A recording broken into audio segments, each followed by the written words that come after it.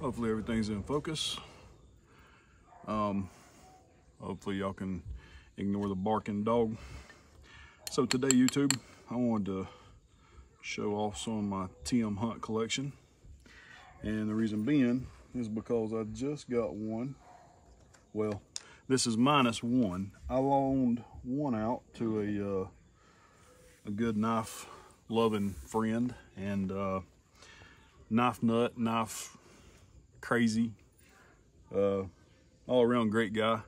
So I loaned it out to uh, Taylor at uh, Ridge Runner Blades. I loaned out my M18 for some video and uh, like show and tell purposes, I guess you'd say, to help, kind of help out his business, help him, you know, hopefully have some of y'all go towards his way and pick up some TM hunting knives from him.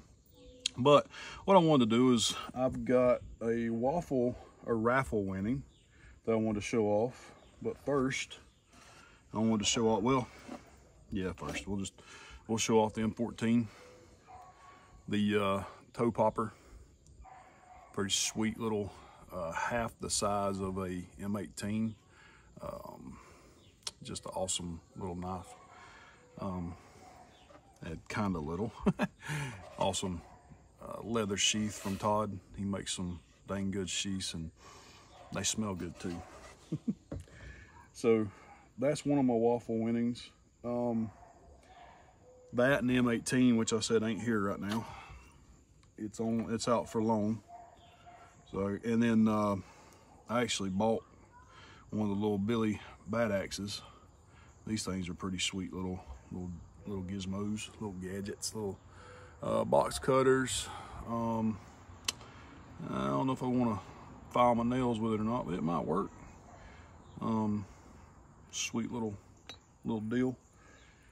Uh, so one of my very first TM Hunt purchases was the Magua back from a uh, knife store down in Salisbury.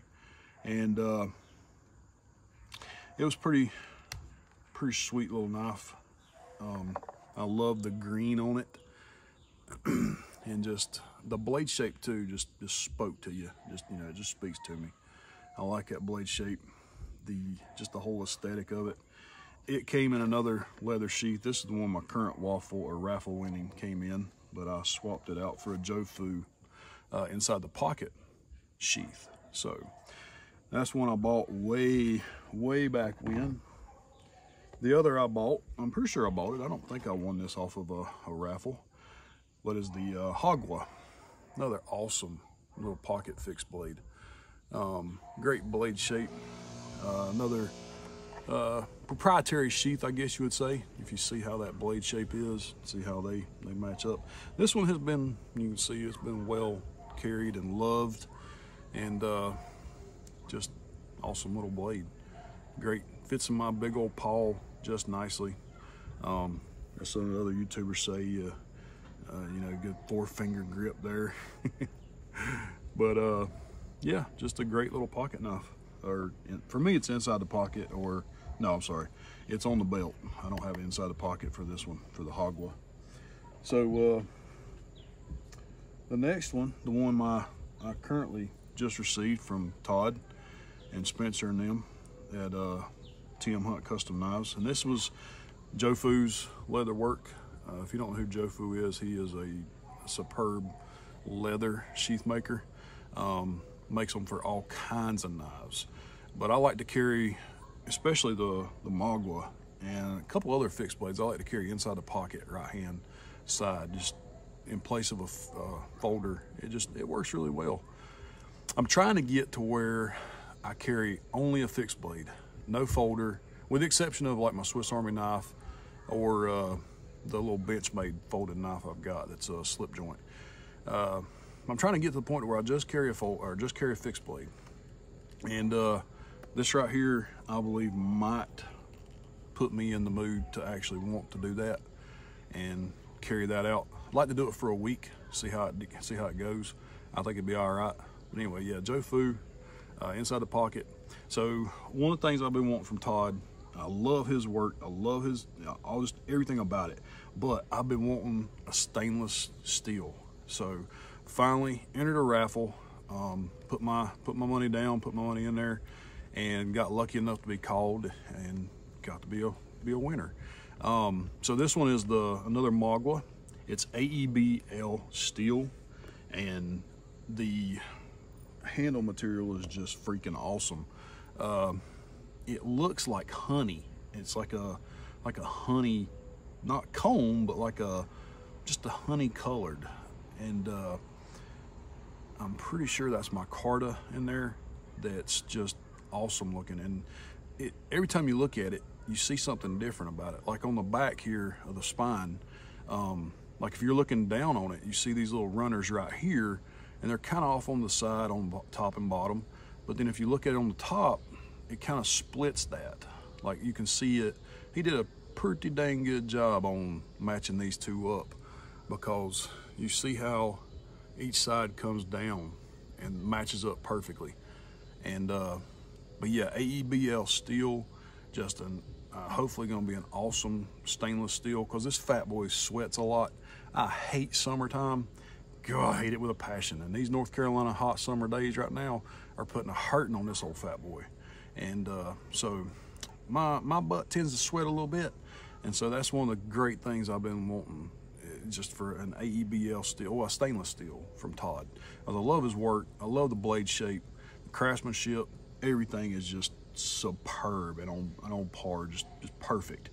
Just, uh, but one of the things I was going to show is this was one of the very first Maguas I bought, and it's been a dang good long while ago.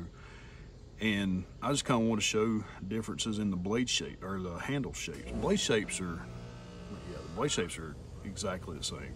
Um, but yeah, the handle just, I want to show how, let's see if I can get them side by side. And you can see how, let's see here. See if I can do this and not get cut. so you can see how thick the green one is compared to the newest one I've got. And that's not a big, you know, downside. This one, this one feels great in the hand, fills up nicely. Uh, that little swell back there in the back, pretty sweet. And this one, another four finger grip on that bad boy. Um, so yeah, it's just, it fits in the hand just right, even though it's not got that swell on it. Um, just feels lovely. So yeah, uh, I'm out here. It's finally gotten cool, finally at 8.30 at night. Um, yeah, watch says it's 78 degrees. I don't believe that. I think it's a little cooler, hopefully. But yeah, I just want to show it off. Um, I got one of the donut glow nuts, kind of like uh, Bushcraft Kelso has. It's uh, it's not his, I don't think it's his brand. That I'm not sure. They might make them for him. Um, dang it, and I can't remember the name of it right offhand. But uh, yeah, they, they make some pretty sweet stuff. I think it's funny, I got one of the glow nut, I got four of them. I got two small ones, two bigger ones. And the funny thing is, the bigger one I put on my truck keychain, or my truck's keychain is, I got looking at the other day, and I showed my daughter, it's funny because it's got a hair in it. So it's like, hey, I got a hair in my donut. but uh, I'll have to show them off. They glow like crazy. But yeah, I was thinking about putting the just a little little one of them on there, just to you know spice it up a little bit.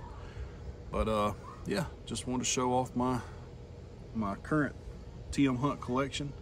Um, it's growing. I had a burden trout, like a dum dum. I sold it. Don't know why, but that's another one I'd like to have in stainless. I think that AEBL and that little burden trout would be uh, just be the bee's knees, be the be tits as they say. so uh, I want to try and get a little fire going.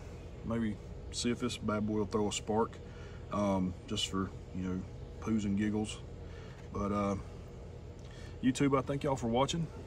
Um, I actually got subscribers. I'm surprised. 159, I think, right now. I'm shocked uh, just to see some old fat boy talk uh, about knives and just show off crazy stuff that, you know, in kind of a day-to-day -day life. I'm kind of, sort of.